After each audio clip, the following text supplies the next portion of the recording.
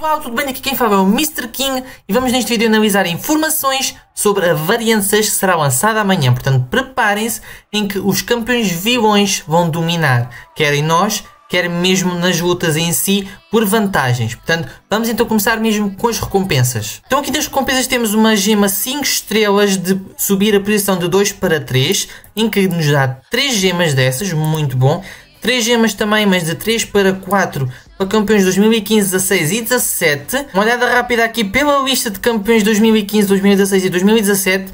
Temos aqui alguns campeões bem interessantes, Blade, Arcanjo, o Cable Cagote tem sinergia com o Apocalipse, Dr. Octopus também, Dr. Voodoo, Faces Cravate Clássica, Falcão e até o Gambit, depois todos estes aqui que vão beneficiar então de usar essa gema. Pois uma gema de 4 a 5 também, ou seja, para aumentar completamente um 5 estrelas de preferência para usar também estas seria então um campeão 2015 a 6 ou 17 e podia subir logo para a posição máxima mal subisse a primeira. Portanto, muito, muito bom. E ainda um cristal de gema despertar 5 estrelas. Que lá está, é cristal, não temos a, a possível escolha, vendemos um pouco da sorte. Ainda nos dá 25 mil fragmentos 5 estrelas, portanto dá para um destaque e um de básico, ou mesmo se quiserem dois básicos e guardar os 5 mil. Depois aqui também catalisadores de base grau 5 3, ou seja, dá para aumentar logo um 5 estrelas para rank 2, muito, muito bom. E ainda um cristal de 25%, um catalisador de classe grau 5 também.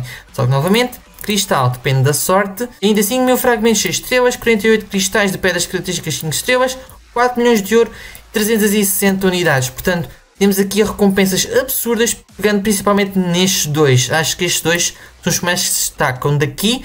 Se bem que também isto é muito, muito bom e isto também. E até as pedras. Mas estes dois... Meu Deus. E antes de irmos para os nós só realçar aqui uma coisa estranha. É que as recompensas da dificuldade clássica, que é aquela mesmo só fácil de fazer, que é para pegar a magia que teve no evento original.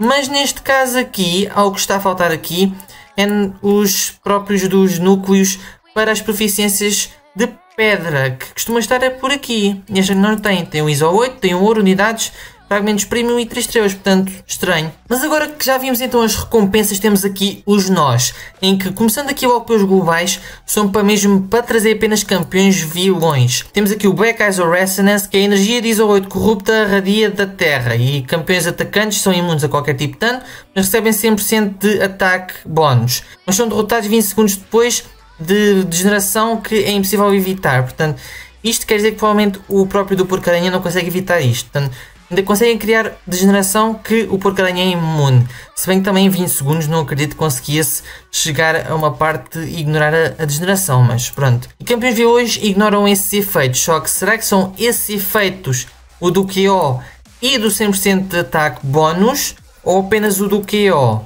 Porque se for eh, este só se aplicar aqui ao QO, ganhamos 100% de ataque extra. Mas se for este também aqui que não é aplicado a vilões, Que faria mais sentido ser mesmo vilões. E depois temos aqui Malevolence e Malignance, que campeões não vilões, atacantes, não conseguem ganhar nem poder nem se curar de nenhuma das formas. Portanto, mesmo para vos obrigar a trazer campeões vilões. E para vos ajudar, tenho aqui então a lista de campeões vilões. Temos aqui o Abominável Novo, temos o Apocalipse, temos o Dr. Doom, temos o Duende Vermelho, temos também aqui o Magneto, o Mojo, Aqui o Topera que vai receber a melhoria, muito, muito bom. Em Fevereiro, Omega Red, Mistério, Sentinela, e acho que pronto, Venom também e Vácuo. Portanto, estes campeões todos desta lista vão ser beneficiados neste modo de variante 6. Portanto, tenham atenção e estas são as vossas opções para levar. Mas agora os nós mesmo de missão e de lutas contra bosses. Temos aqui Mastermind, campeões vilões, tem uma duração maior nos sangramentos, incinerares e choques. Henchman, quando ativar-se um bónus de fúria, atacantes vilões purificam passivamente todas as habitações. Isto pode ser útil a alguns campeões, força aqui então ver, por exemplo, Fantasma, Fúrias, e também recuar para purificar habitações. Mais quem? Temos o Abominável, que pode ser útil o Abominável normal. Temos o Mordor, que também pode ser muito bom, ganha as fúrias. E não sei se há assim muitos exemplos a demonstrar além disso que seja importante, porque se não contar fúrias passivas, como diz aqui, só diz mesmo Fury Buff, portanto deve ser mesmo um bónus não passivo. Mojo e isso provavelmente não são aqui afetados. Monster, quando ativar o insuperável ou não bloqueável, bónus ou passivo, campeões atacantes vilões vão ganhar então uma regeneração passiva que não acumula, que cura 10% da sua saúde máxima por 5 segundos. Ok, pegando então novamente na lista, temos Estado Pirâmide X, muito, muito bom. Além de Tempestade, não me estou a lembrar mesmo assim de mais algum campeão que seja importante mencionar. Beast, com a mesma coisa de ser não bloqueável ou insuperável, bónus ou passivo, refere-se então a cura do defensor por 5 segundos. Portanto, se tiveres então um campeão com isto, aplica-se estes dois, claro que precisa estar no mesmo boss ou mesmo a luta. Mas isto será bom então. Gina, assim, quando estiver com efeito aumento de armadura no campeão vilão, queima 10% do poder do defensor máximo quando ataca ou bloqueia. Pegando novamente aqui, se pegarmos então aumentos de armadura, temos o Dr. Octopus. Quando ele chega então às descobertas, ganha um aumento de armadura. Se contar passivo, que aqui não diz passivo, portanto não devia contar. Mas, por exemplo, o Sentinela, que eu estava a pensar. O Venom Pato não conta tão bem, digo eu. Lutrones, Patriota de Ferro e de aumentos de armadura. Acho que não há. O Caveira Vermelha, sim.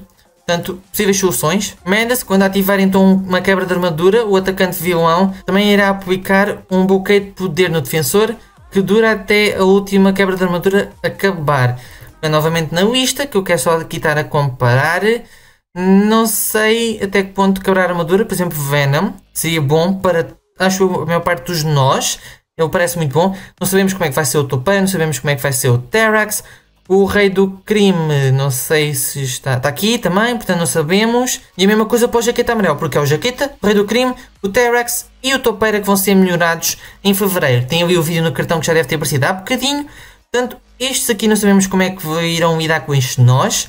Mas temos aqui alguns bons exemplos para isto também. Overlord, quando o defensor tiver os bónus anulados, o atacante vilão ganha uma precisão passiva de 10% até ao máximo de 10%, ou seja, um aumento de 100% máximo. Portanto, muito, muito bom para diversos campeões. Imaginemos um segundo especial do Venom com isto. E por último, Tyrant, atacantes vilões causam 50% do seu ataque como dano de energia extra cada vez que acertam o oponente ou o bloqueio, desde que o defensor sofra de uma debilitação de fraqueza. Ok, isto é literalmente o nó favorito do Abominável Imortal fraquezas para ele é muito bom, porque é literalmente é só bloquear e pica fraquezas. Portanto, é uma curta duração, sim, mas pegando aqui então nisto, causar dano extra, literalmente, por exemplo, a parar, ou mesmo bloquear um bocadinho e depois fazer um reparry, e depois fazer alguns ataques médios e isso, e dá este dano absurdo extra, portanto, ótimo. Ou então mesmo, por exemplo, guardar imensas fraquezas e usar então depois o segundo especial. Aí derreter completamente tudo. E é com isto que eu termino então este vídeo. Já vimos aqui as recompensas que são muito, muito apetitosas. Temos os nós que parecem mesmo ajudar campeões como o Abominável Imortal, o Venom e aqui alguns outros campeões que possam ser úteis ou então que não sabemos ainda como é que vão ser em Fevereiro. Claro que a variante é já lançada então amanhã. Portanto, só depois de recebermos então melhoramentos em fevereiro é que saberemos se aqueles quatro campeões vão ser bons para aqui. Portanto, ainda temos muito que esperar. Mas eu acredito que sim, que é mesmo de propósito. Porque lançaram literalmente informação no Twitter, ao mesmo tempo que praticamente lançaram este post do próprio do variante 6. Portanto, se calhar não é assim só coincidência. Pode demorar imenso até sabermos mesmo isso. Mas este então é o vídeo. Digam o que é que vocês acharam destas recompensas e mesmo o que é que estão a achar para prepararem-se para esta variante. Lá está, sai amanhã.